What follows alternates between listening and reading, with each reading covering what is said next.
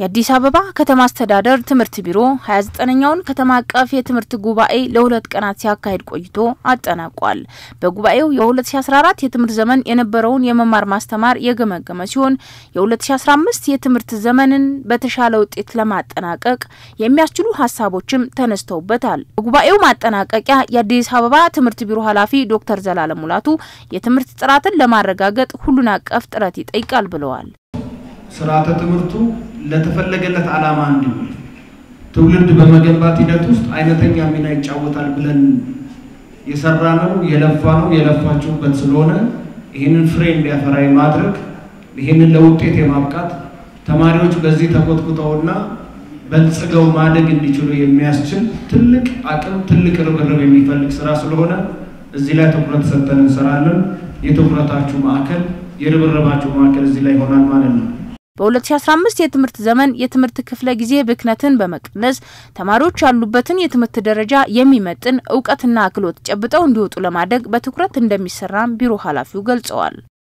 ዋነኛው የትኩረት አቅጣጫችን ተማሪዎች በዛ የትምህርት ደረጃና በዛ የትምህርት እርከን ላይ ማግኘት የሚገባቸውን የትምህርት ይዘት አግኝተው ተኮትኩተው እንዲያድጉ ማድረግ ያስፈልጋልና የክፍለ ጊዜ ብክነት እንደ ባህል ተደርጎ የተወሰደበት ነው ማለት ነው። ይሄን ባህል የመስበር የመቀልበስ አንደኛው አቅጣጫችን ይሆናል ማለት ነው። ስለዚህ የትምህርት ጥራት ጉድለት የሚጀምረው ከክፍለ ጊዜ ብክነት መሆኑን መግባባት አለብን። በ2014 የትምህርት ዘመን አቃቂ ቃሊቲና ቂርቆስ ክፍለ ከተማ የተሻለ የመማር ማስተማር ስራ ከነውኗል ተብለው እውቅና ተሰጥቷቸዋል።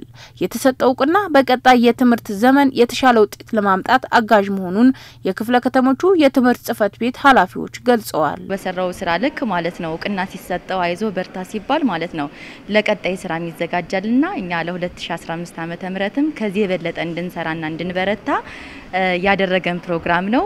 በዚህ አመትም ላደረግ ነው ወይም ደግሞ መጨረሻ ላይ ላገኘነው ውጤት እጅግ በጣም ደስተኞች ነን። ጥሩ ነበረ። በአጠቃላይ በከተማ ደረጃ አንደኛ ነው የወጣ ነው።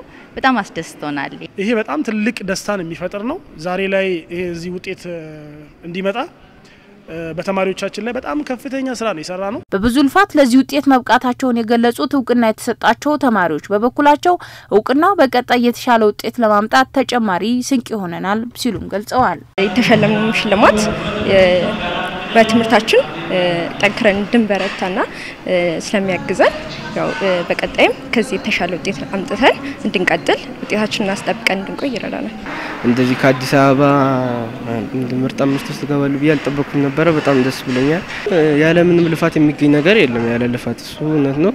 ያው አስተማሪዎችም ያበረታቱ የነበረ በደንብ ያግዙ ነበረ። ርዕሰ መምህራኖችም እኔም ባልኝ አቅም በሙሉ ያው ለማጥናት ሁሉ ይሞክራለሁ። ብዙ ሞዴሎችም ተፈትነናል። ለሚኒስትሪ በደንብ እንድንዘጋጅ የቻልኩትን ሁሉ ሰርቻለሁ። ብዙ አጋዦችንም ለማንበብ ሞክሬ ነበር። ከዚህም በኋላ በሀገር አቀፍም ደረጃ ትልቅ ውጤት ለማምጣት ሀሳብ እንዲኖረኝ ያደረገኝ